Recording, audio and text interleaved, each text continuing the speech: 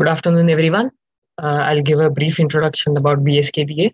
BSKBA Association is popularly known as Gokul. It is a 95 year old charitable trust in Mumbai, and our activities include a community center at Sion and a home for senior citizens at Nerul in Navi Mumbai. With over 5,000 members, we have been actively interacting for religious, cultural, and social causes. In this time of COVID, BSKB Youth Wing is conducting Sunday interactive sessions along with the Talent Hunt series. Today, we present to you a landscape color blocking workshop by Bhavna Chandramouli. I'll give an introduction uh, about her. She's an artist and designer. She's currently a student of the School of Art Institute of Chicago, graduating next year to get her bachelor's degree uh, in fine arts in the studio. Bhavna Chandramouli's work is an interdisciplinary practice that is a culmination of diverse art forms. A lot of her works are centric to questions and relations between her cultural heritage and the modern world of today, which she answers and engages through a variety of traditional digital art forms. She has many awards and honors under her name under the fine arts and the performing arts uh, segment. Apart from her life as a conceptual artist, Bhavna is also performing classical Bharatnatyam uh, from the age of uh, five and has continued to nurture and sustain her passion for dance even today. I'll hand it over to Bhavna. Thank you. Hello, everyone. Thank you for uh, joining. Uh, I will be sharing my screen to do a small presentation about what we are doing today and to understand a little bit about color and um, how color works in uh, our life today and how, how that is translated in art. Just give me a second. So first, I would like to discuss about what is color. We we see color everywhere. We have learned about color since we were since we were children. You know, since the time we are born, we see color all around our world. So the importance of color, I think, really, you know, the pure form of color and pure color as fill color in art started post the Second World War. Uh, from uh, the time when modernism became a very big part of the art world today. So today's workshop is about color blocking. So I'll tell you first what is color blocking. Color blocking is the thought of an exploration of taking colors that are opposite on the color wheel and pairing them together to make interesting and complementary color combinations. It is commonly associated in fashion as a trend that originated from the artwork of Dutch painter Piet, uh, Piet Mondrian.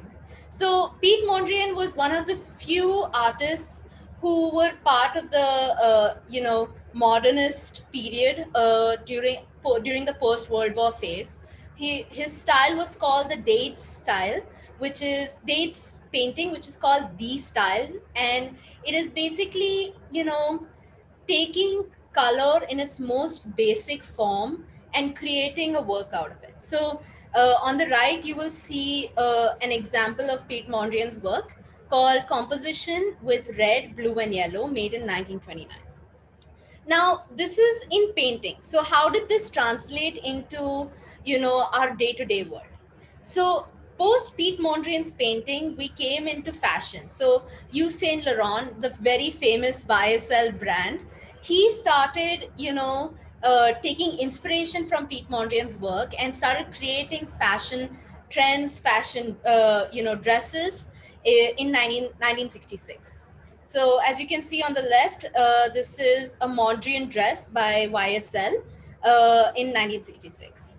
Uh, now in current times, our famous uh, Louis Vuitton, you know, they had a, a uh, they had a show, uh, which is where they featured a futuristic take on color blocking appearing on their fall and winter 2019 runway. So color blocking is a very very big part of fashion but it's not but now slowly we are seeing a trend where this idea of using very simple colors come into other fields. So another field is in art. So two very very famous uh, artists mark rothko and david hockney have used similar styles of you know just using basic color without any shades without any you know uh, blending uh, to create work. So Ma- mark rothko's violet black orange yellow on white and red is is a very famous work. And as you can see it's it's 168 meters by 208 meters. So it's pretty huge. So when you see a work like this on such a large scale the colors really start to pull you in. That's what the power of color is. On the right you'll see david hockney's the splash which is a 72 inch by 72 inch. This is a very famous painting. David hockney is a is a very famous artist who's still alive and is still making work today. And this work is if you if you look at it all the colors are plain simple fill colors but your eyes get pulled to the splash which is not that simple of a color. So color creates focus. So that's a very important thing. Now in modern art and design as you can see you know this has this this trend of using plain simple colors has you know uh, shifted into our modern art uh, our interiors our product design our you know um, basic uh, co- commercial styles of art i would say. So now how do you understand colors? How do you use colors accurately? Because you can't just use very simple colors and expect it to shine. You have to use the correct combinations so that you know you know what you you can make what you want to shine correctly.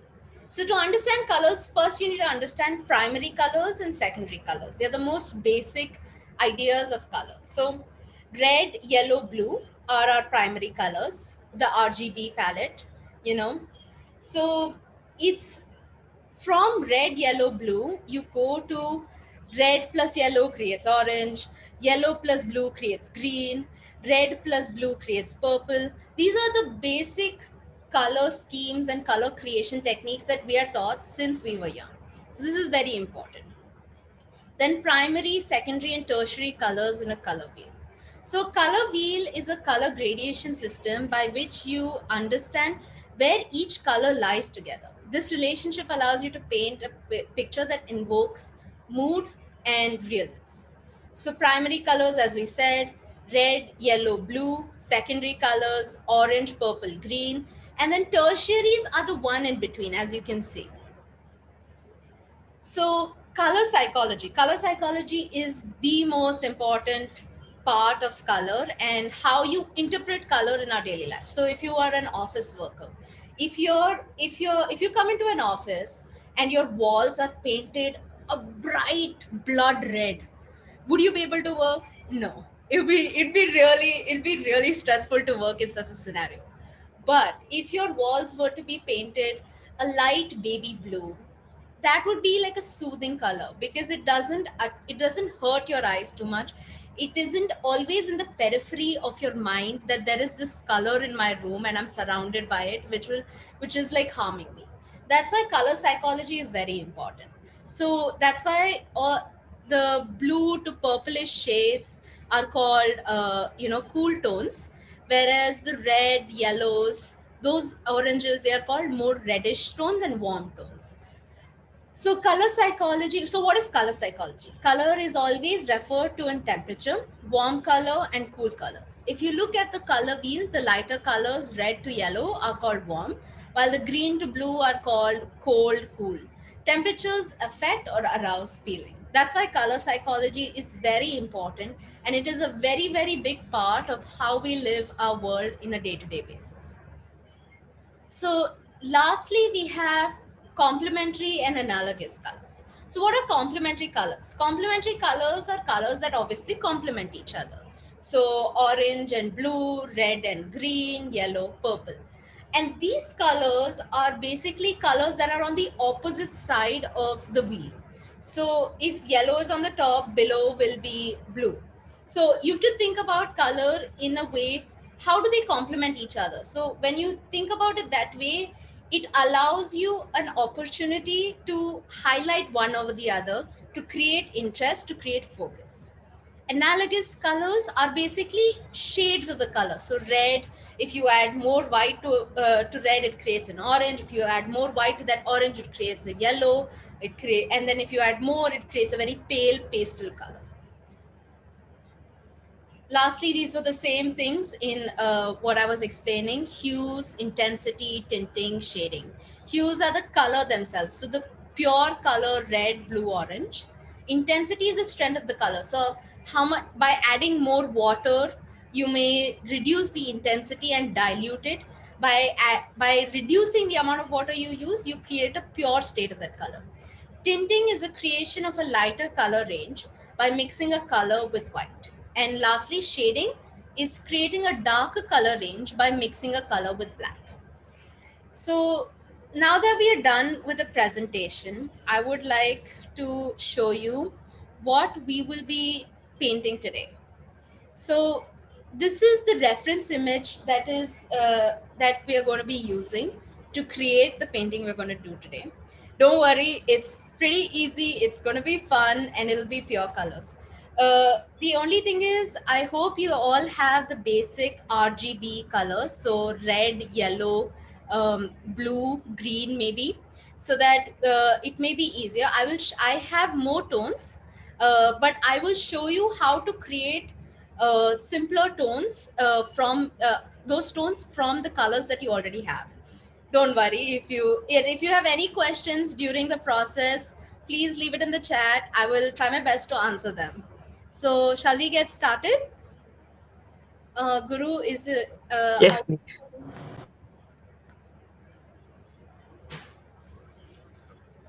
So I hope you all have like a basic, maybe an A4 size painting. So uh, I mean a A4 size uh, sheet.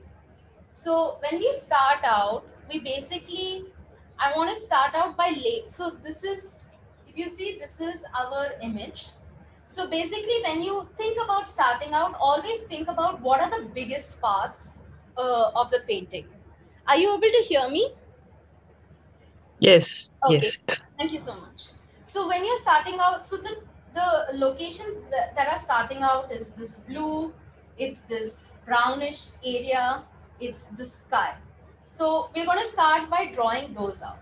So start and very lightly, you don't need to press just start by drawing it out. So you start this first brown area, give it shape, and then you add the next area. And don't worry if you know if it doesn't come out perfect in the first go. This is your base drawing.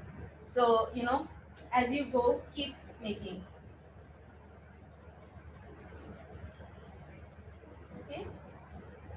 So this is our base drawing. Then we create the blue, the water. Okay, the blue water. Now, if you notice here, there are two tones of the blue. That is the lighter shade of the blue and the darker shade of the blue. So I will mark that.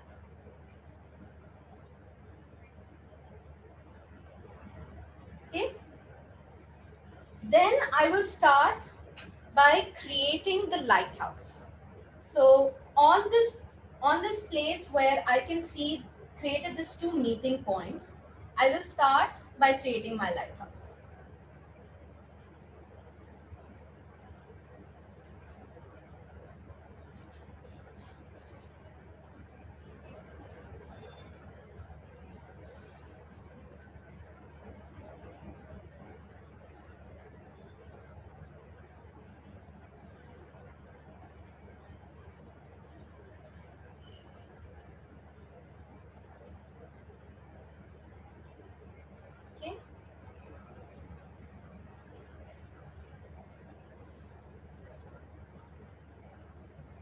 So you may use uh, a scale for this. I'm I'm okay with freehanding it because I will work on it uh, as I um, as I paint. I, I will be okay with working on it that way.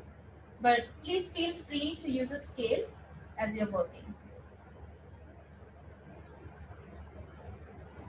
So one of the things I learned uh, when I was learning art is that to not be afraid of it. always enjoy what you're doing. And and if you do something different that's that's better. It's fun to create things on your own. So as you can uh, as you can see here for the lighthouse there is this yellow yellow window so I will create the outline for it. Okay, it's a tiny small window, so just give it some space. There is a green window here.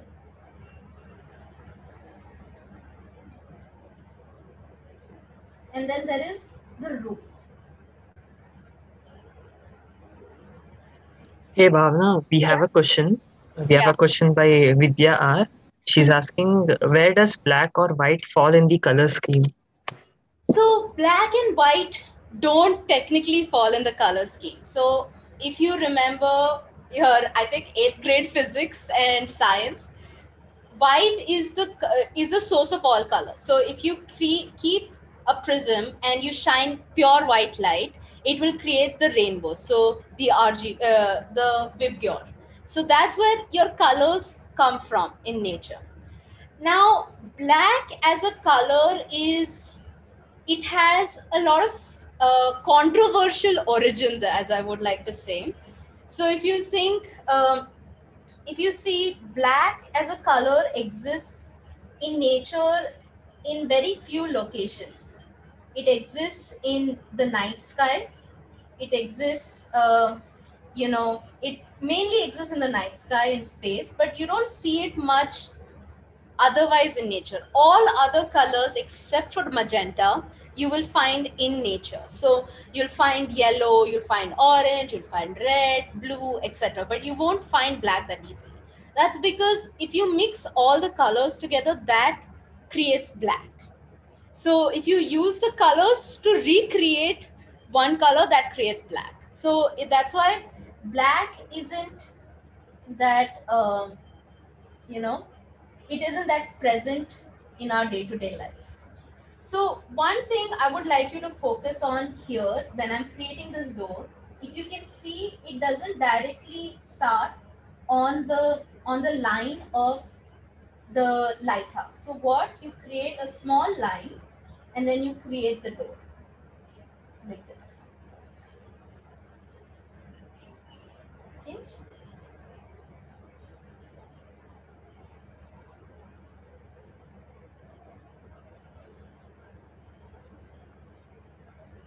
Let me erase this.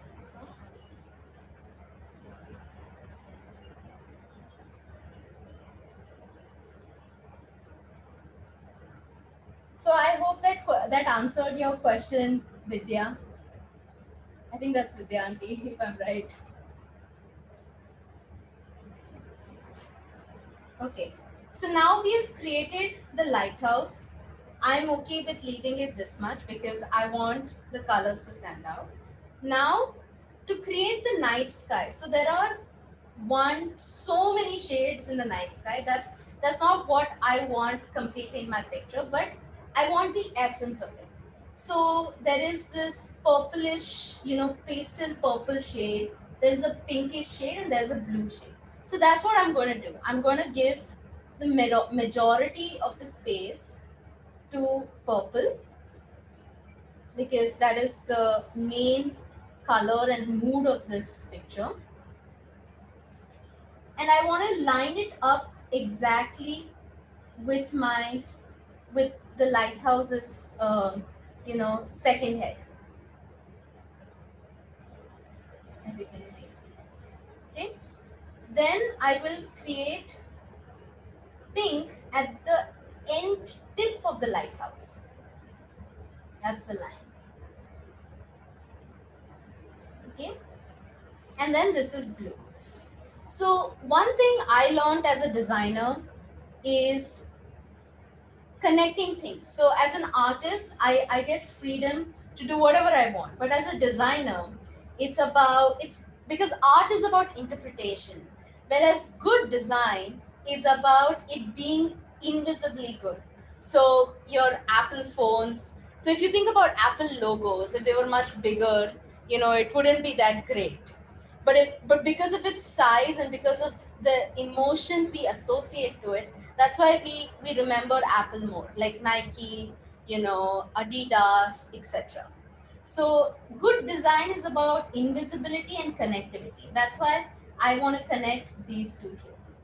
So I think we have uh, we are almost ready with our base picture. I will I will just finish off a few things. That is, I will make this a straight line because I would like to keep it straight in essence of, you know, how there are a lot of straight lines here. So I will make this straight and this straight. Okay? So not this line. So now that we're done with the pictures, if you uh, with the base drawing, if you have any questions, please tell me uh, before I start the painting process. Okay. So before we start painting, I always do this. I give it a very light rub off so that the lines don't become very prominent. Especially do this especially if your image and the colors that you're using are very light. You know, like the blues, if you're using yellows, but don't rub it off to the point where you can't see the details. It's just a light rub. So you can still see my lines.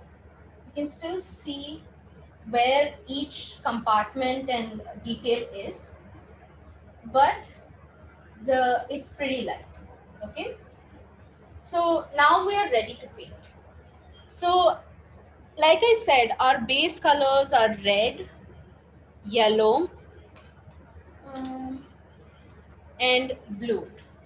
So I have a pretty dark blue here, but I have a lot more shades, but I will show you how to make the shades that we need to make.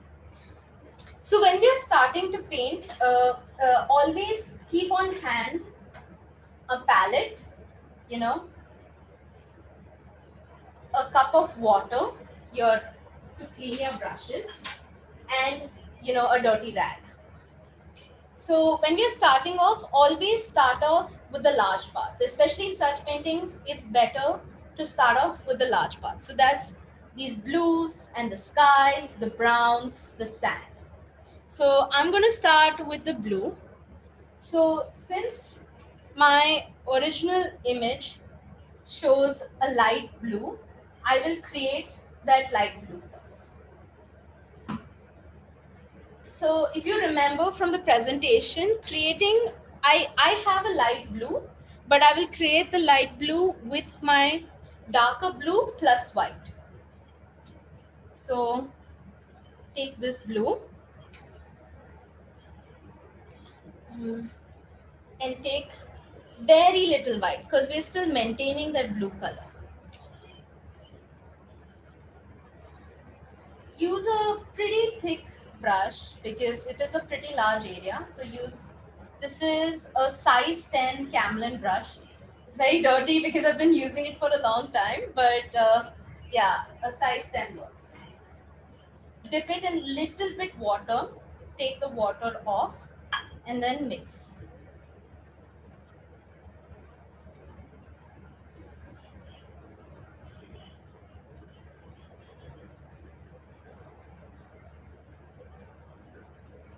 So this hasn't changed the color much, which I want. I don't want it to change too much. But if you would like to reduce the, the uh, tint of the color, add little more white not too much just little and then mix it again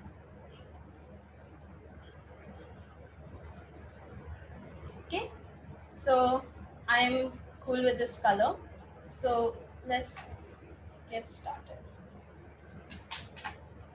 so since we are working with this i will first start putting that color in and at the same time, I will use a, a, a medium sized round brush that is a seven, seven, number seven, and use that at the same time to add my borders.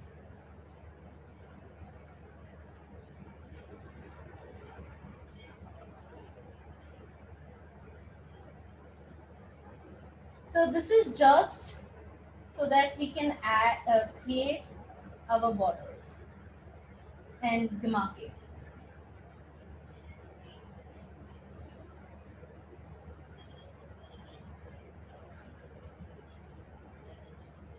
So when you're doing this, you're you're create you're uh, painting the borders first. Make it's okay if on the inside it's like this, but on the outside, that is the outer edge, it has to be clean.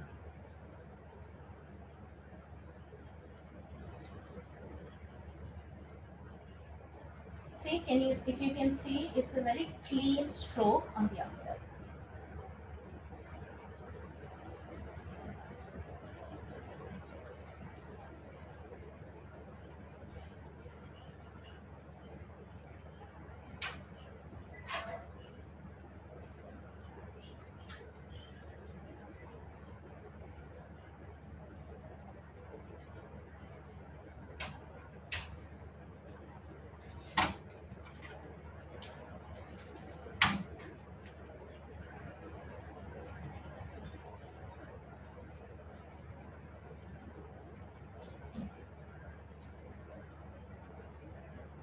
And don't worry, if you make a mistake, you can always cover it up. That's the best part of painting is if you make a mistake, you make a mistake. Then you just learn to unmake the mistake.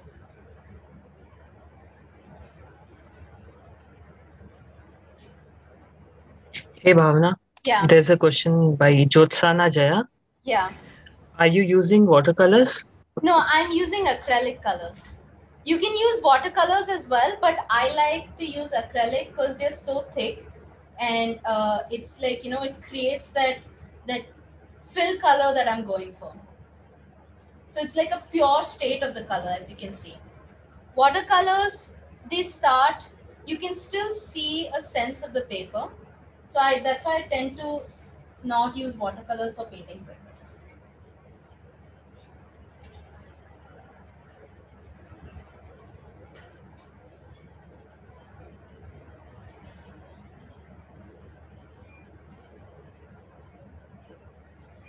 So I would also recommend, I should have said this before, uh, that you keep a newspaper down.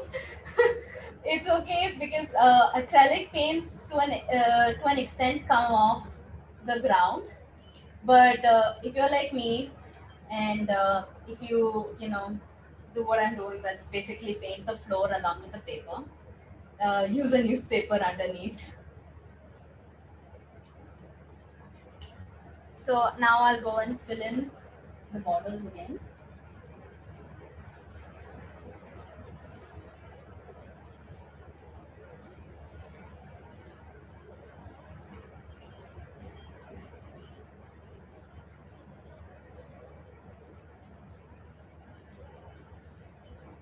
And take your time. There is no hurry in making stuff. There are days where I start painting one day and then I take a whole month before I come back to it because I just can't think about it anymore. And that's okay. Painting is supposed to be a joy, not an effort. And then I'll clean up places that I think I need to clean up.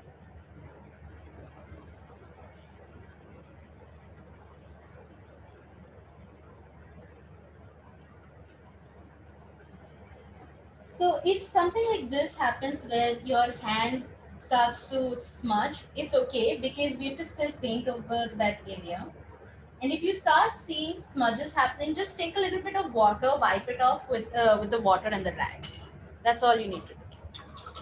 So I have created my first layer of the sea. Now I'll show you a proper technique of how to wash your brushes off because that is a very important thing.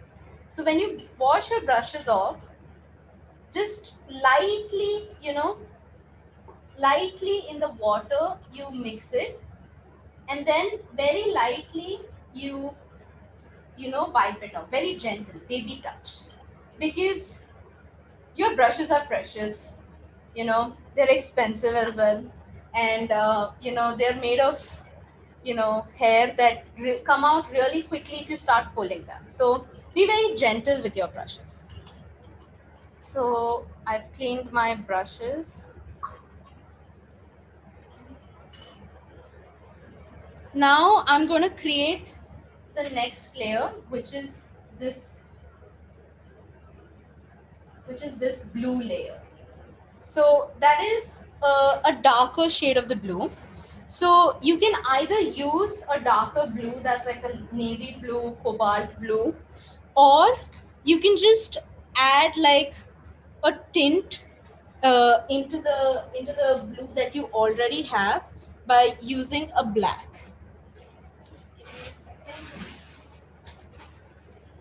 So basically this black. So, so I'm adding black to the same blue that I've already created. Very little. And I mean, and when I mean very little means very little. One rule in painting is that you start little by little because you can always add more, but you can't reduce. So I'll start by mixing. So as you can see, that blue color, that that that black color I added, even that very little, has created such a dark color. So what I will do is I will add more of my base blue.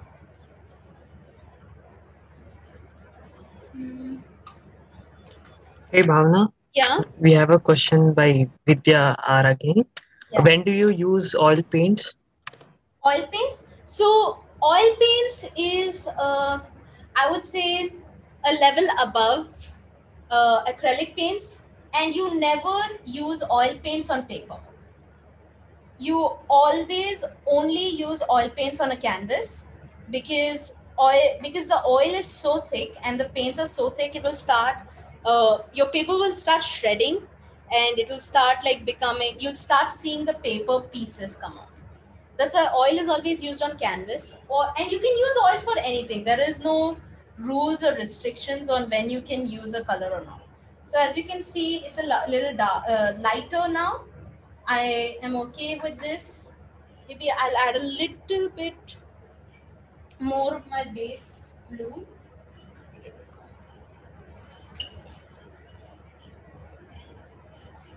Little bit more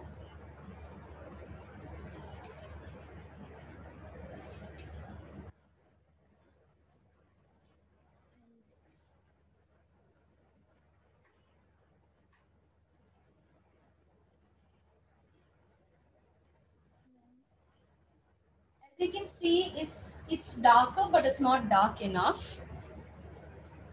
I i'm not happy with that dark uh, it's a little light.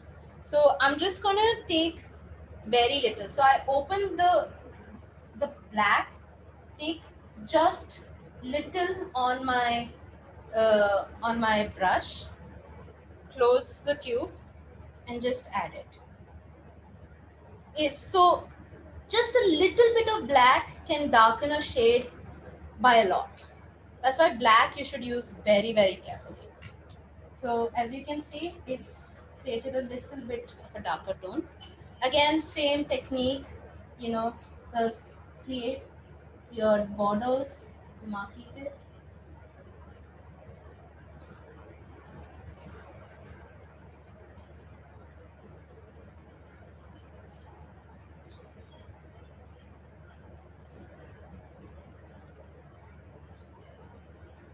Uh, there's a question by Priyanjali. Yeah. Isn't it difficult to shade with the acrylic paints on paper? So what I do is I use little bit of water. So acrylic paints, unlike poster paints, they dry up. So you have to be careful of how you're using them. Are you closing them properly? Are you keeping them in a good condition? So that is one thing about the that all acrylic artists, you know, keep in mind is is my acrylic paint stored in a good place? So and am I closing it properly and all that? So that's important but So you'll feel acrylic paint start to resist you only when your acrylic paints are old, when you're not using water. And when I mean water, very little, just like when I mean water, it means literally I just dip my brush and that much water is enough. And I still mix it up into the paint to create uh, create it smoothly. So that's why acrylic paints, a lot of people think it's tough to use, but you need to know how to how to use them. Once you start to understand how to use them, acrylic paints are the best medium in my mind.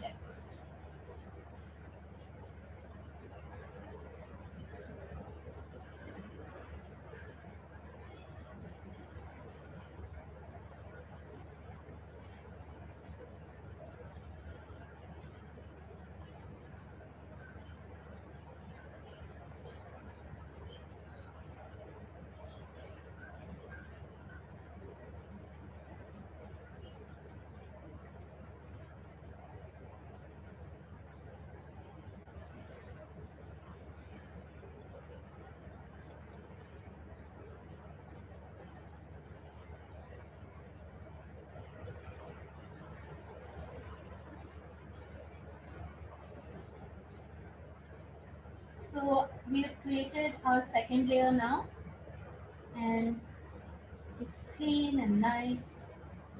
Looks like a pure color. So I would wash off my brushes again. Again, lightly wash it off and clean it off very lightly on your uh, cloth. Wash off.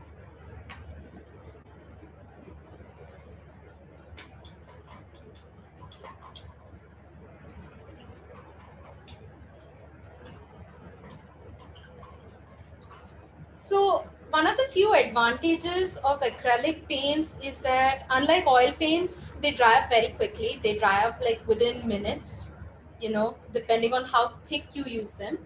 Uh, but uh, the best part of acrylic paints are they they come off of everything.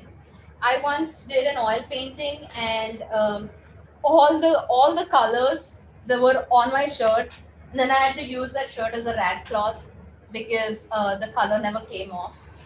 Uh, so you know, wear in April if you're going to use if you're going to do oil painting. So now that we've finished these two layers, and we still have blue left, so we still have one more shade of blue where we're going to add. So the last shade of blue is on the sky. So that's the topmost layer. So we are going to finish that and then we are going to finish blue. So the reason why I started with blue first is because in this painting, first blue is very prominent because of this uh, sea and the sky, but blue is the darkest color we're using here. So one of the things a lot of people uh, make mistakes in is not changing out their water. So after blue, we will immediately go change out our water because we're going to be using lighter colors like reds, yellows, whites. So we're gonna do this last blue and then we're gonna change our water. So for the last blue, I'm using this blue that is a light blue or a baby blue. But what you can do is you can use your normal blue that you add, have, add a lot of white. So, you know, add enough white. So I will show you how to create that blue on this palette as well. Um, you can still make it in this color if you want, but I would recommend starting on a new palette. So if you make it on this,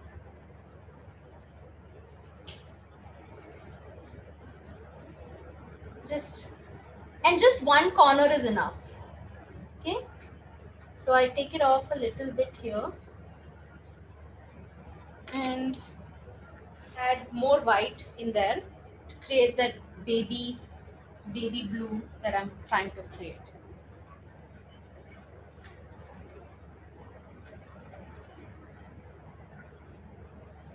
So I would I would still add more white because that's not enough for me. So I added a lot of white and now I finally get the color that I want.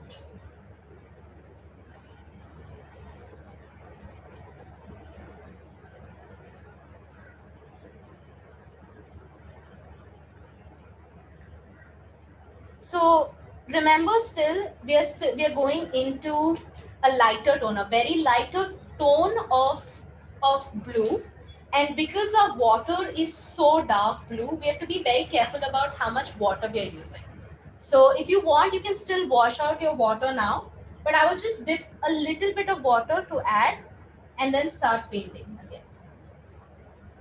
So that is my baby blue tone.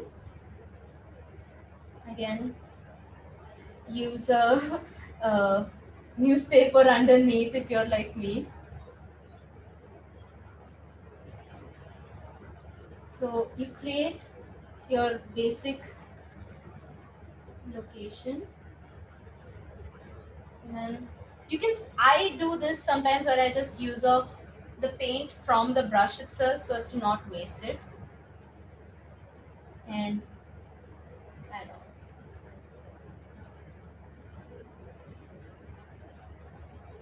so this style of art is actually now very prominent in digital art uh, in graphic design. It's a, it's a fun trend. It's easy fun to do and quick to do.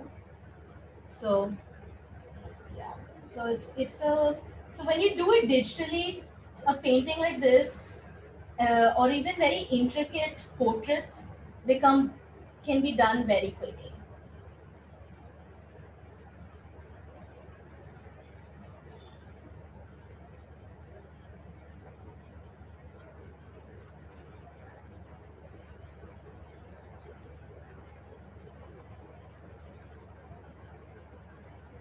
Like I said, if you make mistakes like this, don't worry. You know, we can always come back to correct them. Just, just finish filling it up.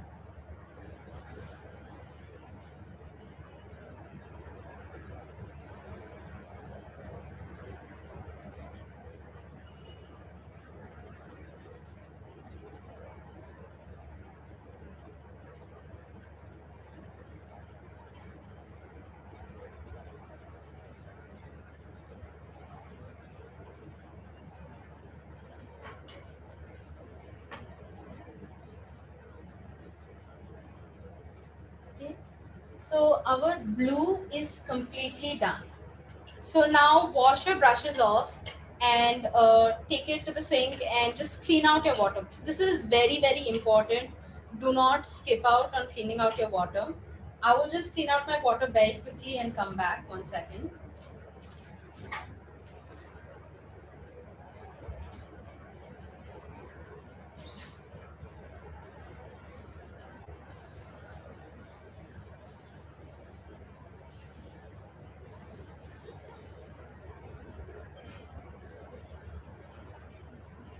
So I'm back with clean water. And when I mean clean, I mean fully clean new water. Uh, when you're cleaning out, also one tip is clean out the, the rims of the glass because you've been, uh, you know, taking the brush off like that. So it's better to clean it off. And just last once, wipe off your brush because there may be residue paint and you don't want that. Okay now we've finished two colors. I'm just gonna quickly. We finished the blues. We're gonna do. We're gonna now make uh, the browns, which is these two areas. We're gonna finish those because the, the, they are the next darkest area. So for brown, if you have brown use for the darker side burnt umber and for the lighter one use uh, a yellow ochre or a raw sienna. If you don't have those colors, to create brown, mix orange, uh, blue, and yellow. That's how you will create a brown. I'll show you also how to create a brown. Um, so since my paper is still wet, I won't keep my palette anymore on the paper. But so you can either if you have an orange or if you have a red also that will be red, orange, both are okay. So let's see. red.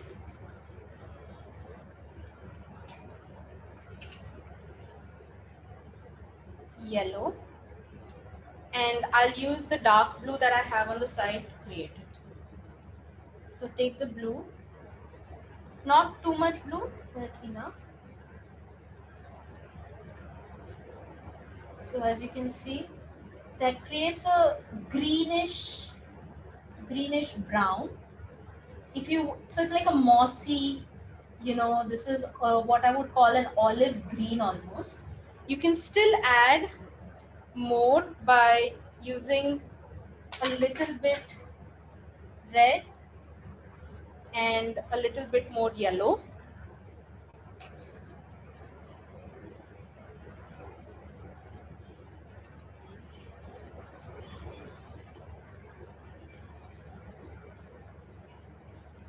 start creating more of a chocolate brown as you can see so if you want to go for like a purplish brown that is you add more blue. So one thing is you uh, in colors that you have to remember is primary colors that's yellow red uh, blue. To darken them you don't add black. You usually use, uh, you know, for a red or a, to darken a yellow, to make it a little bit more orange, you use red. To darken uh, a red, you use very little blue. Be very careful because you can turn it into uh, purple. You have to be very careful about that. But if you use it in enough um, enough quantities, you'll be able to create. So I'm okay with this uh, uh, this shade of brown. If I want to make it little bit more chocolate brownie, earthy, earthy brownie, add more red and add more um, yellow.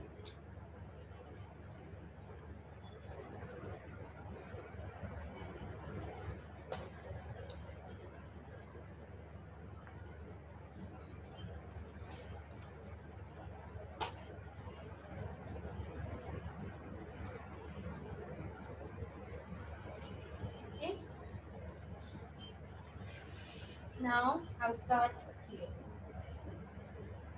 So I want this front side to be that first.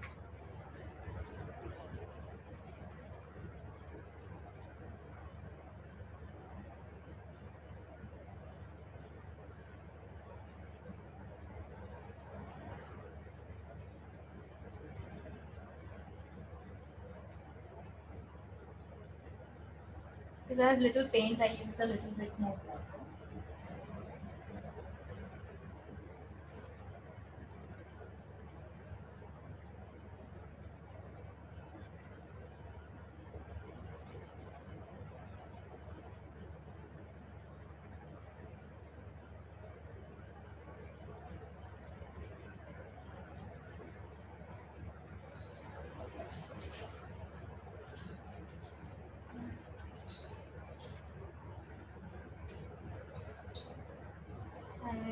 My other brush.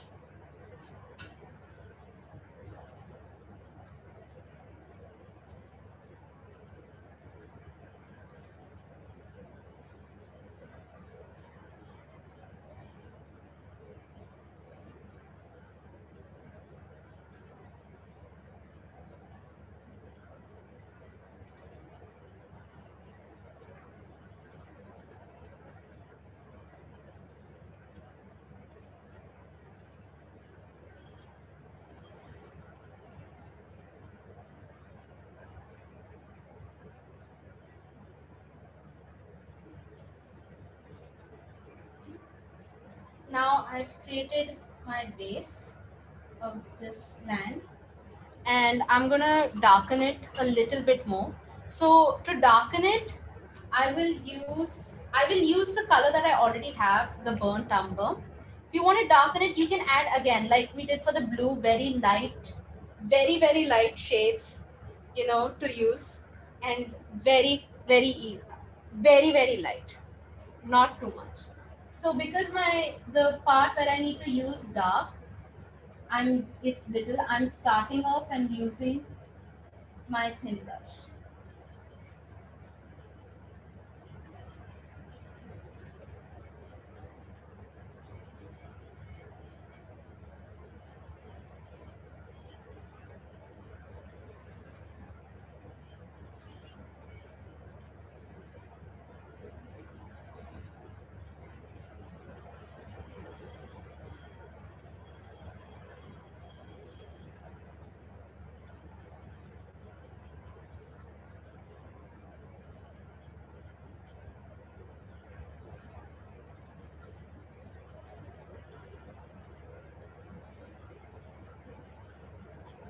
Okay. So we're done with this. So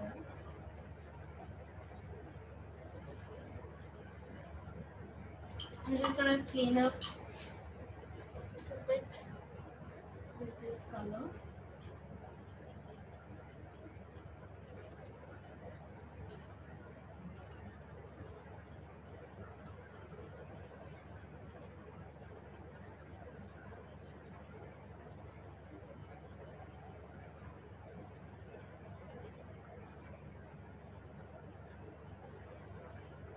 Okay. So we're done with that. Now, since we are still on the brown, we will finish the sand. So for the sand, because I want it lighter, I will use more yellow and mix it up.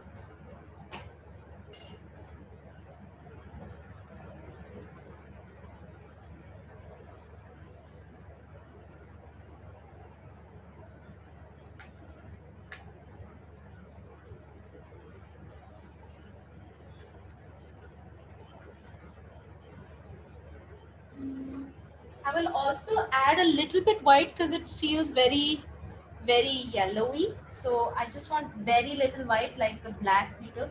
Take open the white, take it from your brush, and then add it.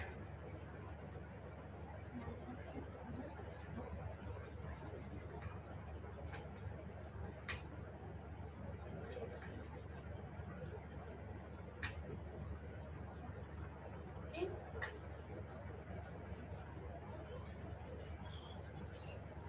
Mm.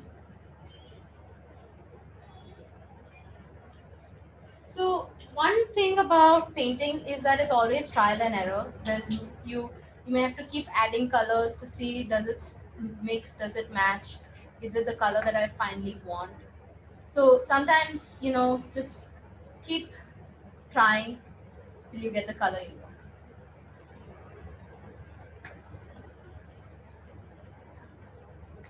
I think this is good. Now I want more white.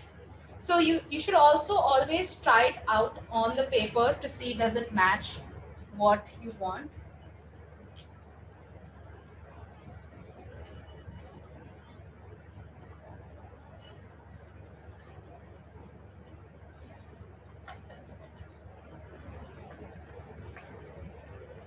So whites. Again, all out. Here, another color that you can use for this shade is a yellow ochre, as you can see. So tho- that is also another shade that you can use.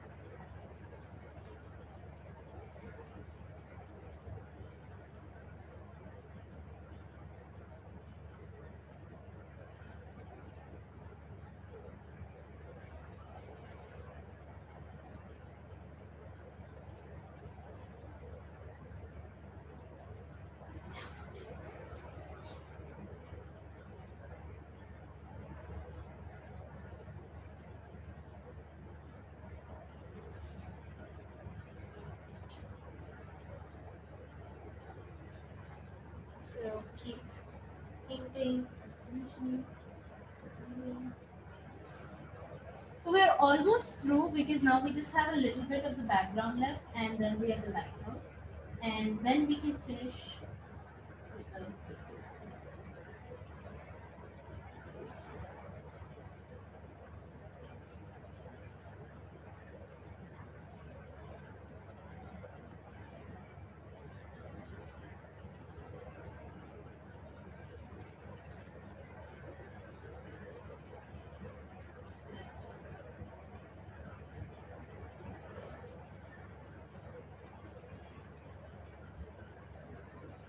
So the reason why I'm keeping this edges a little bit rough is because I'm going to use a white to highlight the sea in the end.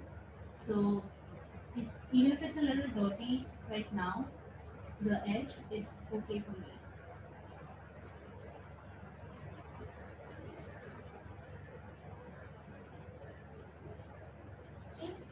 So we finished the beach now we're going to finish these two colors. So for those two, we're going to use purples. So purple again, you can create purple by mixing red and uh, blue. But this time I'm going to use the color that I have uh, because I think you guys now know how to create colors and think understood how to create. So I'm using this purple but I'm going to lighten the tone a little bit. Hmm.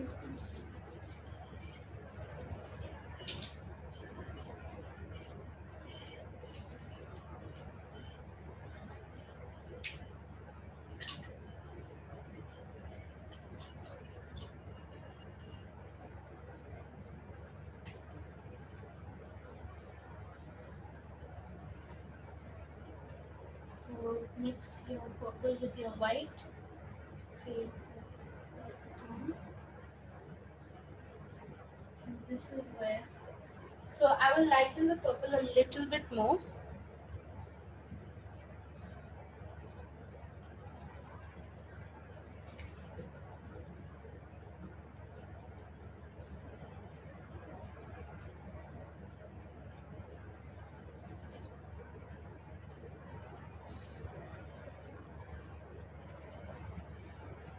fill up as much as you can with your thick brush.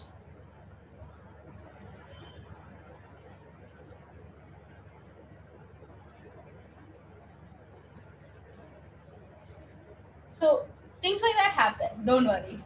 It happens, it happens. You know, just keep moving on.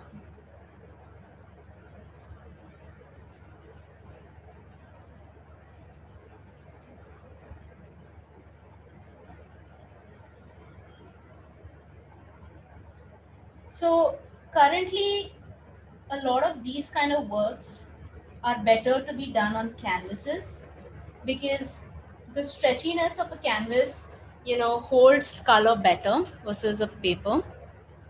So I'm going to use now my thin brush.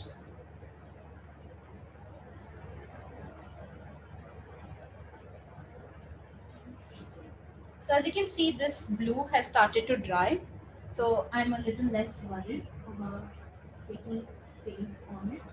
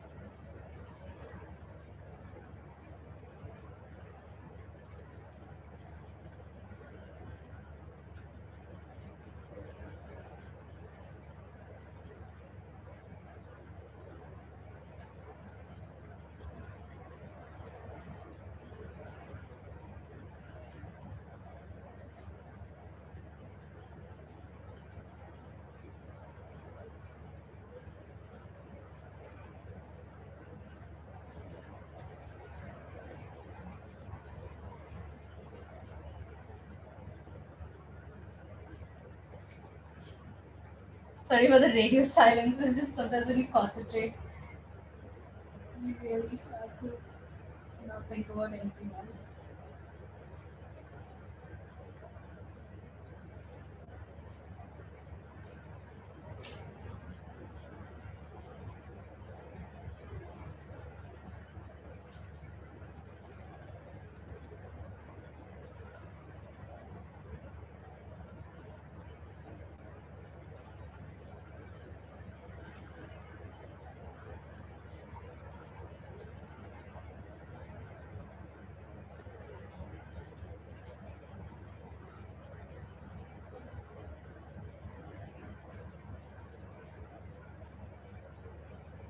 So it's okay going over, like I said, because we will finish it up, touch it up.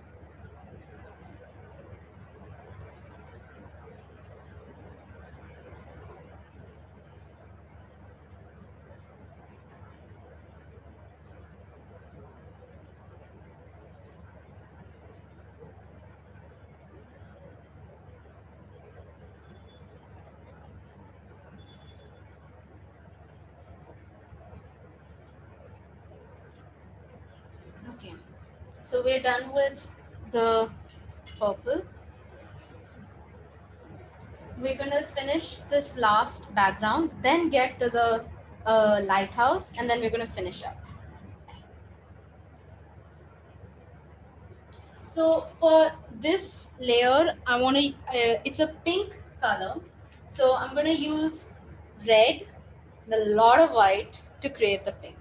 It's a very neutral uh, pastel pink color that we're going for.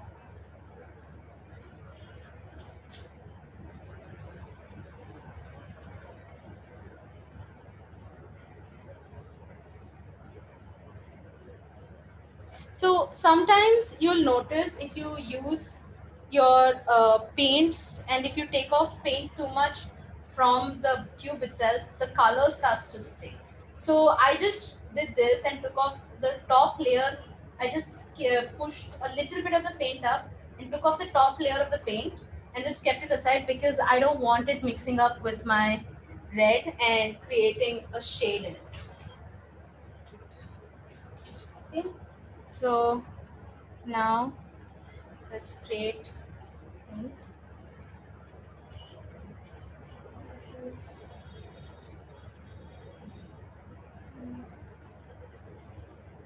Little more white.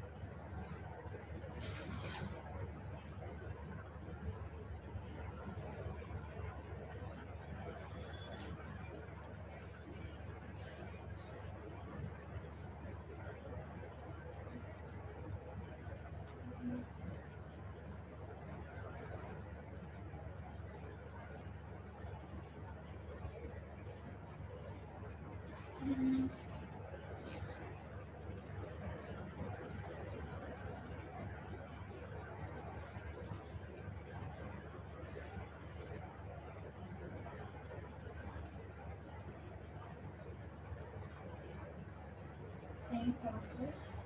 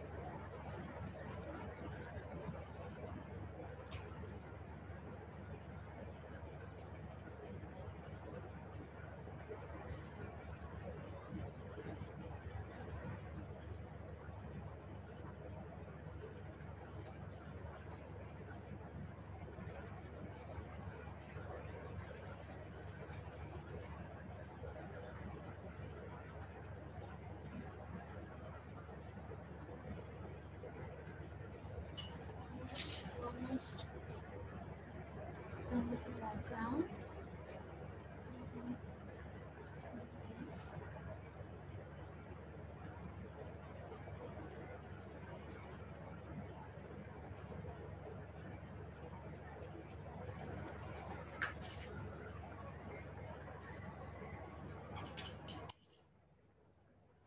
Start finishing a little bit of the background.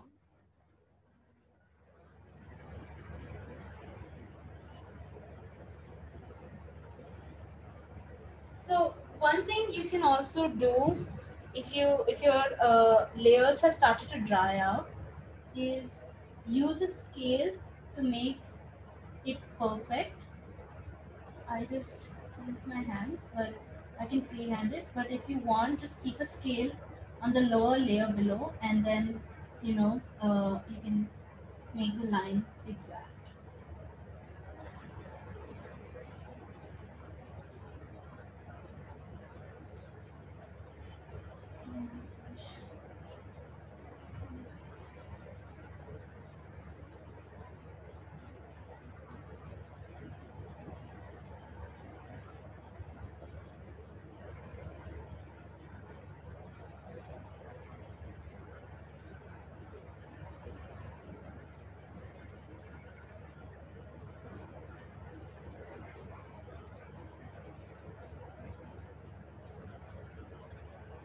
Even one circle. That's done.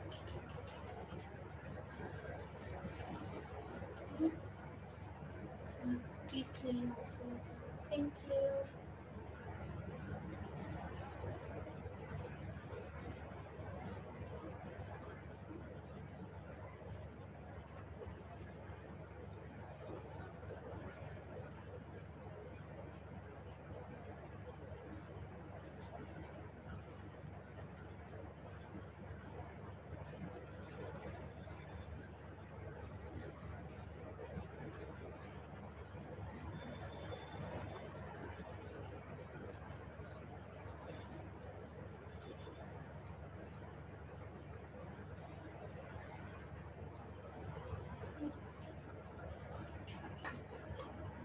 the pink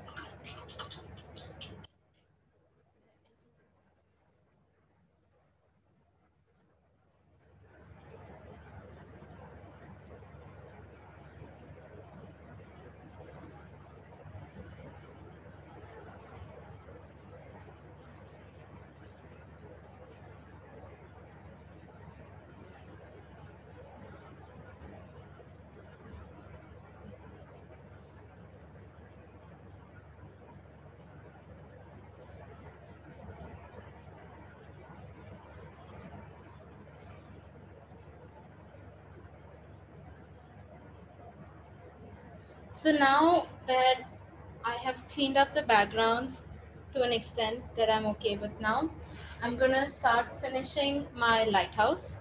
So the lighthouse itself is white and we're gonna just give it a small shade. So first start with your white and use your thin brush since we're working now on the smaller details start using your thin brush so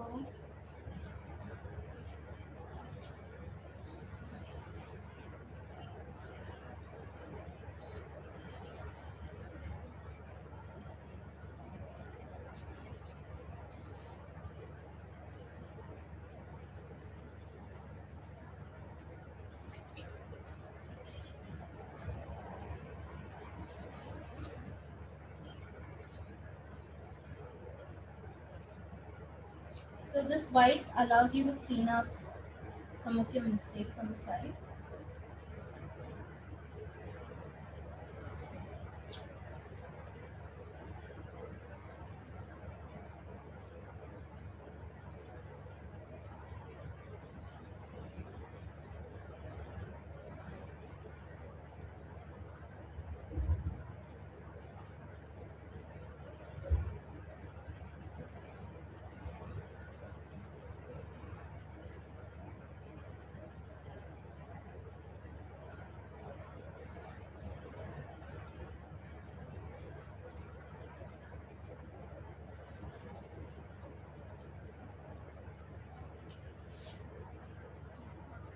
So make sure that the areas where you're cleaning up, the white is pretty.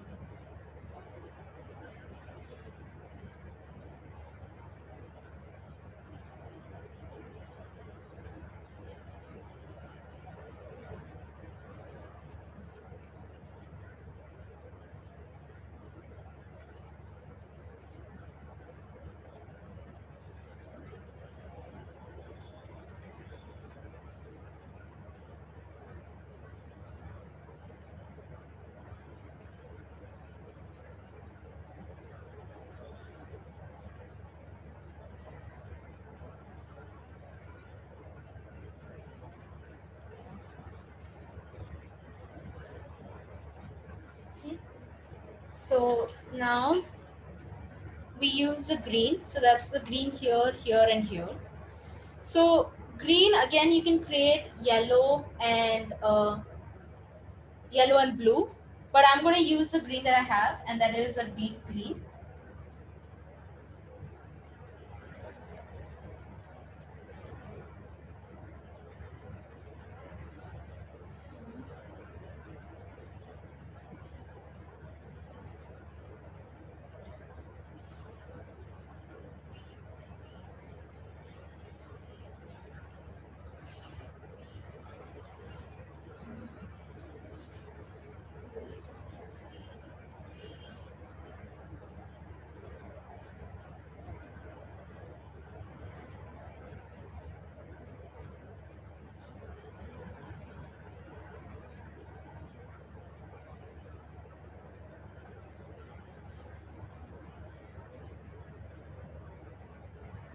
So it's in this part that you start to become a little more careful about your edges and uh, the color.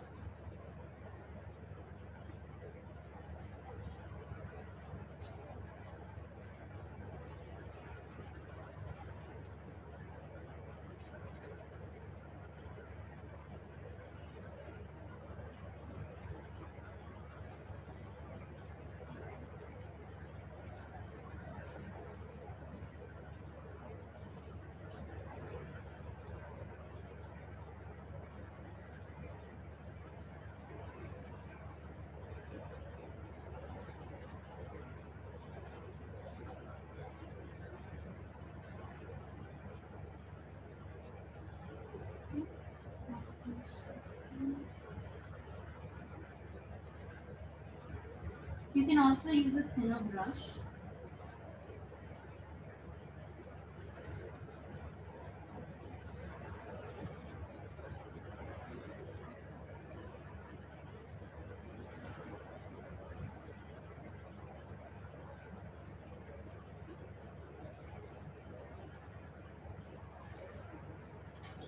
Use a thinner brush.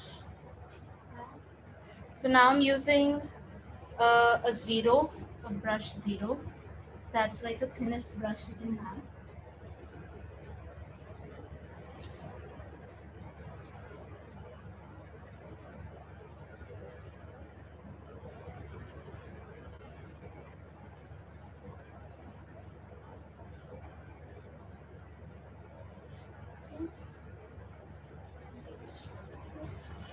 Now I'm gonna do my yellow. I would recommend switching out water now if you can, but it's okay. I'm gonna use lemon yellow.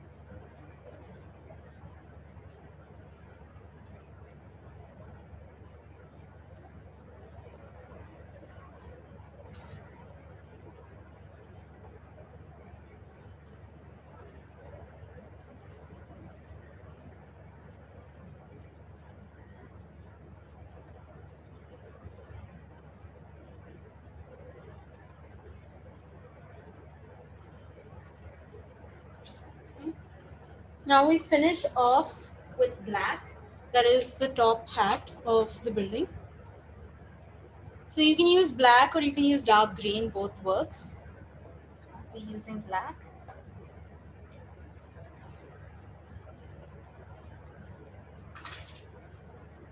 Make sure that you use the thinnest brush you have now.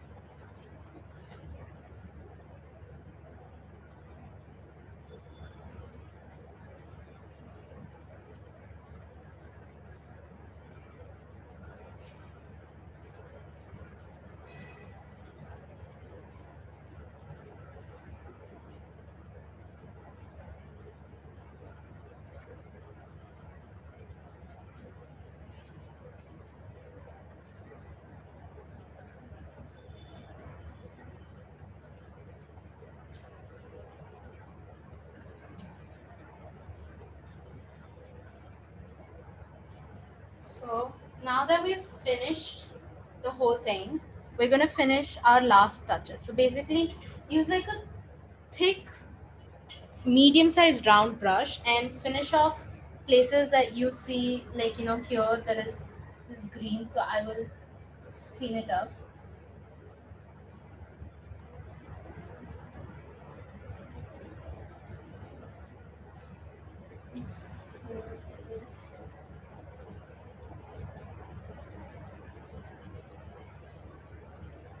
Like the time to finish the whole piece.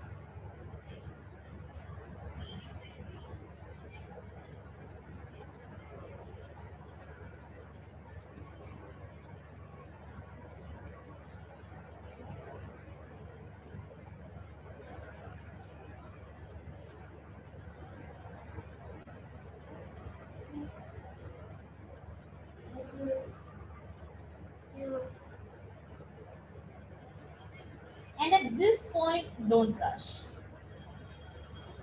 This is the point where you really don't want to rush. Take those last few minutes to really clean up well.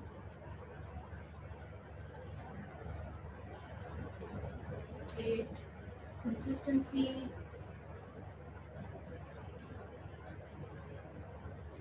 You can use other sized brushes also if you're working on a larger area that you're cleaning up. I'm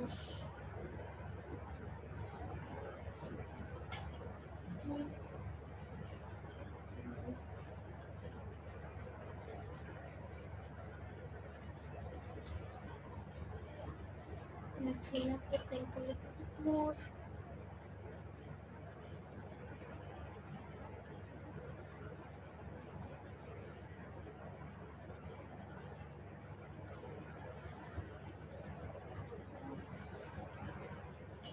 Clean up the blue mostly.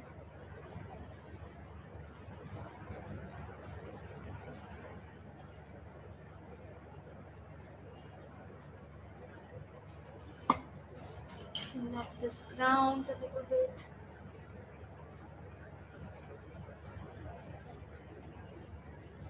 This way.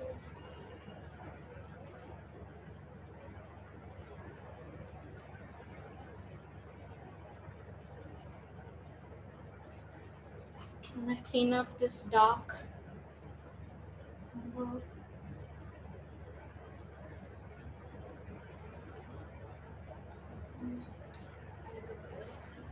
The color for it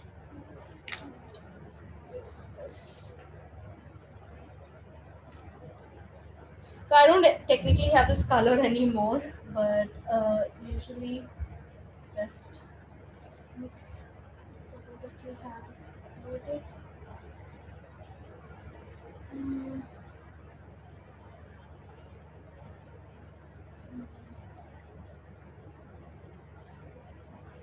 This is the color I have currently. Just clean up these segments.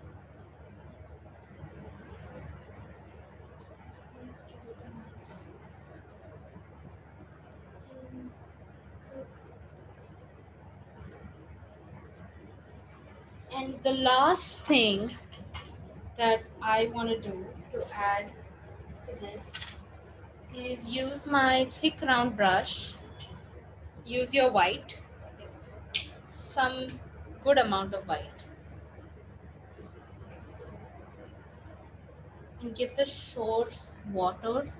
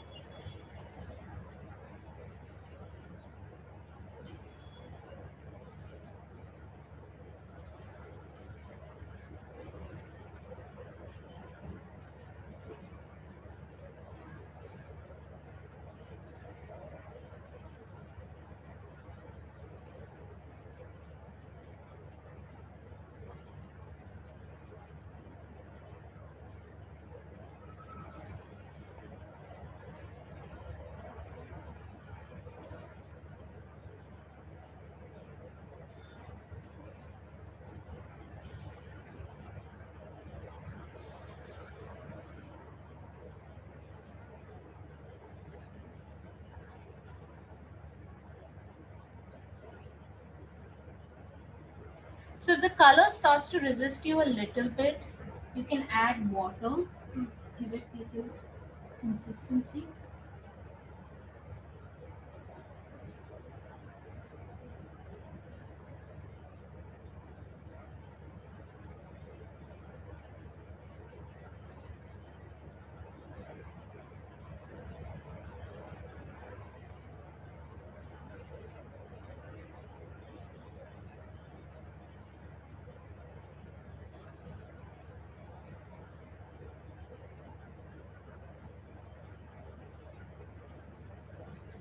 and we're done. So this is the whole painting. You can see we're done. So if you if you have any questions since we're finished uh, about the painting, about the style, about how to complete anything, you can ask, and we're done.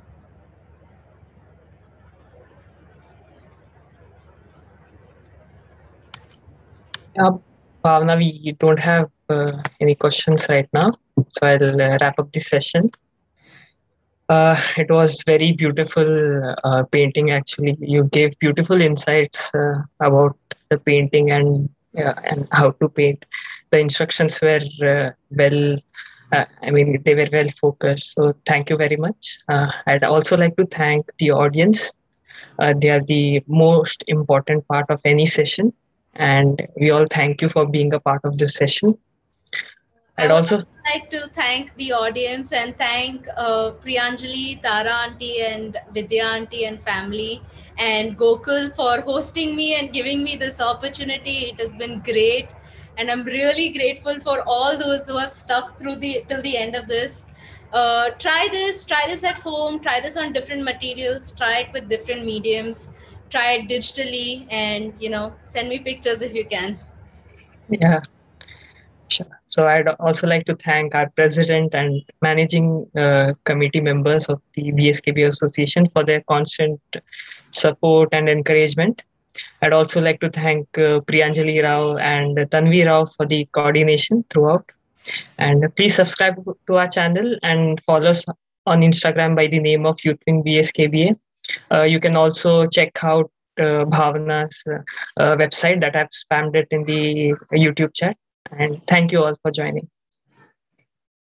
Bye.